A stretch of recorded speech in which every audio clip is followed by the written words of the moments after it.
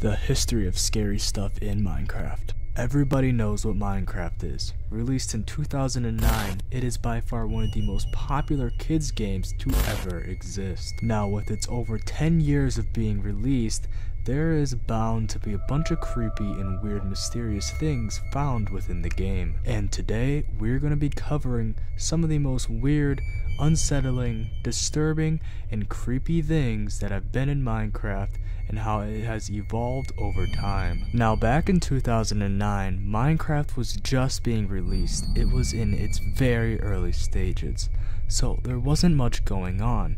But there was a couple updates, and in which one of those updates there was zombies, creepers, skeletons, and spiders released. Now, these were some of the first hostile mobs to be introduced to Minecraft. Now, these were much more of a threat because you weren't able to hit back, and since there wasn't a day or night cycle, they would just spawn during the day. The AI wasn't very good, so, well, you could easily run away from them if you needed to. In 2010, Minecraft was finally getting its feet on the ground. 2010 was going to have one of the most phenomenal years in Minecraft history. This year would have brought the Nether update and one of gaming's most notable urban legends, Herobrine. Now with the Nether being added, the game had a completely new factor to it that made it a little bit unsettling and creepy. The Nether is, well, basically it's hell, which definitely began to spark theories in people's minds for other creepy things that could possibly be in the game. And music discs were just released, including 11 and 13.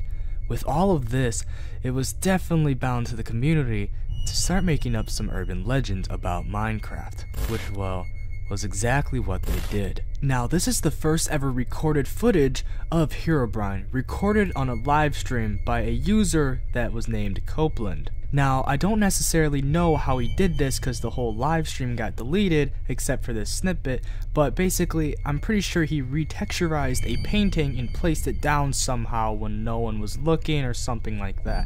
But the theories went wild after this. And well, basically, the rest is history. This is what started it all. In 2011, we got one of the most creepiest mobs in Minecraft history. We also got nether fortresses, and the Farlands were introduced to Minecraft. Plus more. Now, riding off the creepypasta wave that was in the early 2010s, including the creepypasta that came up about Herobrine, well, it was a smart decision to make Enderman basically based off of Slenderman. And with all this creepy hype going around Minecraft, it was a nice decision to add nether fortresses, which also included more nether mobs, which I'm pretty sure included blazes, ghasts, and magma cubes. They even included cave spiders into the game in this period as well. And with all of these mobs to watch out for, they also added a new biome this year, which was the swamp biome. Now, nothing was really of particular in this biome, but eventually down the road, it would later be known for witch huts to be inside of it. And as previously said, the Farlands were also introduced in this year, and it also created more creepypastas and urban legends, which, well, obviously made Minecraft even more popular. Now, 2012 was a pretty spooky year for Minecraft. There was an update called the Pretty Scary Update released on October 25th this year. And within this update, it included the Wither. But in prior updates to this, there was mineshafts introduced to the game and so as zombie sieges. And they introduced bats in the caves, but that's not really too scary. Might give you a quick little jump, but other than that, that's all this year had to offer. Now, 2013 didn't really have too much going on for it in this year, but there were some skin packs that were released that did include a couple creepy skins for Minecraft players to use. And this year also included the cave noises that are so infamously known in Minecraft. Now, with 2013 being very uneventful for creepy things in Minecraft, 2014 was by far one of the most eventful years for creepy things being included into Minecraft. A bunch of new creepypastas about the game were released this year, also including a creepypasta mod for Minecraft that included a bunch of mobs that were based off of the very popular creepypastas at the time. Now, some of the most popular Minecraft creepypastas that were released this year included Null, which is a black character slash glitch that will place signs down saying Null on them and will basically stalk you while you're doing your own thing in the game. And the other most popular creepypasta released this year was Entity 303, which was a hacker that would torment Minecraft players that once used to work at Mojang but got fired by Notch himself. 2015 introduced probably one of the most coolest mashup packs Minecraft has ever seen, at least in my opinion, it introduced the Halloween mashup pack in 2015, and it is by far one of my favorites that they have ever released. It included a bunch of creepy stuff and textures, including skins that are some of my favorite to this day. But other than the mashup pack, there wasn't anything else going on. Nothing else creepy and no major updates to introduce anything creepy into the game. So this year was kind of boring. In 2016, a new structure was released and a bunch of hostile mobs were also released. And that structure was the Woodland Mansion and the Illagers that were included with it.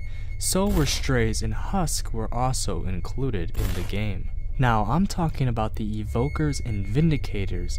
These were the Illagers that were included in this update, and the Evokers are by far some of the scariest mobs to face against because of how easily you can die against them.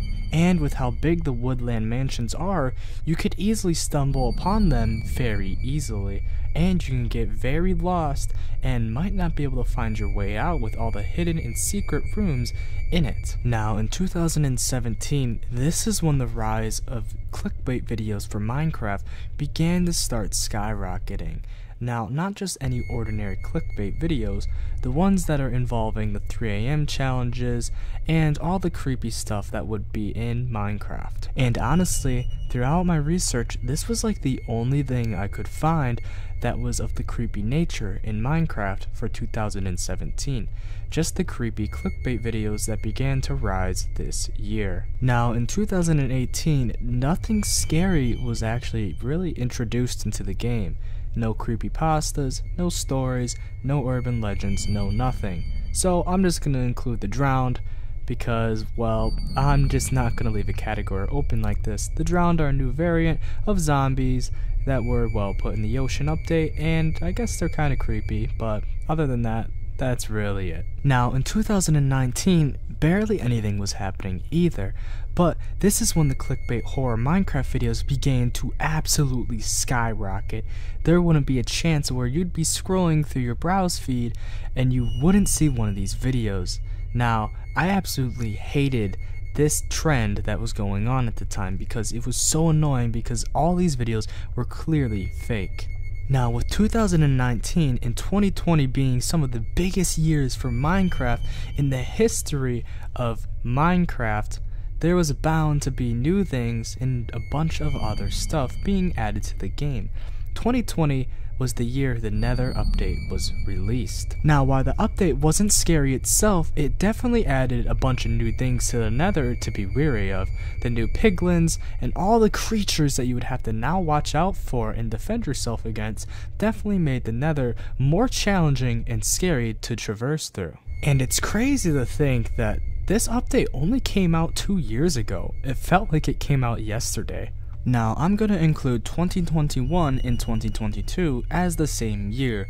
2022 has only just started, and the only thing that we have gotten from 2021 and this year is the Warden. This is by far one of the most terrifying looking mobs to be seen in Minecraft. While it was announced in 2021, the creature should be releasing this year. And I am very excited to see how the whole Caves and Cliffs update turns out when it is finally 100% released.